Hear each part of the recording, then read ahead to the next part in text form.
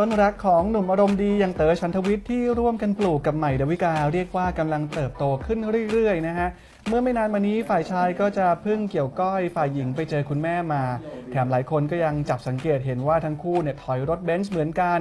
ซึ่งก่อนหน้านี้ใหม่ได้ออกมาปฏิเสธไปละพร้อมบอกว่าซื้อมานานแล้ว งานนี้เต๋อก็ชี้แจงว่าตัวเองก็ซื้อมานานแล้วเหมือนกันครับ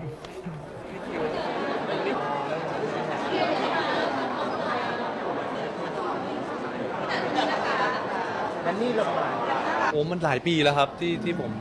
ซื้อ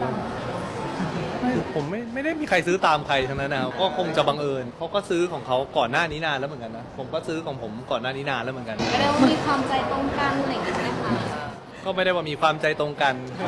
ไม่ได้ถึงขั้นรถคู่อะไรครับครับ ไม่งั้นผมก็ต้องคู่กับทุกคนเพราะว่าคนก็ขับรถกันนี้กันเยอะแยะไปหมดอันในมุมเต๋อเป็นคนแบบไหนมีแบบมี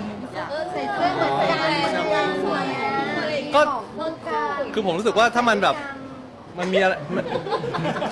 มันมีอะไรแบบแมทแมทกันอะไรบ้างเนี่ยก็ก็น่ารักดีครับ แต่ว่าถ้าเหมือนกันเดะเลยก็ก็อาจจะหึนิดนิดๆอะไรเงี้ยแต่แต่ว่าถ้ามีอะไรที่แบบเหมือนแบบไปในทิศทางเดียวกันเป็นเรื่องของสีเป็นเรื่องของอะไรบางอย่างอะไรเงี้ยผมว่าก็มันก็ดูน่ารักดีเป็นเยอะขึ้นก็เลยพาไปหาแม่ซะเลยหึ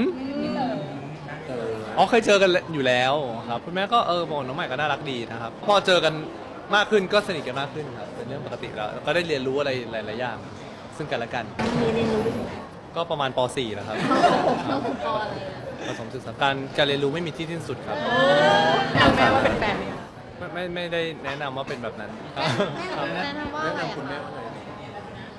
นี่น้องใหม่แม่พูดอะไรกับน้องใหม่บ้างไหมครับหวัดดีลูก มันไม่ได้ฝากเนื้อฝากตัวหรอกครับ คือจริงๆ เจอกันก็ ก็เป็นการเจอกันแบบไม่ได้ไม่ได้นัดหมายหมายขนาดนั้นนะครับ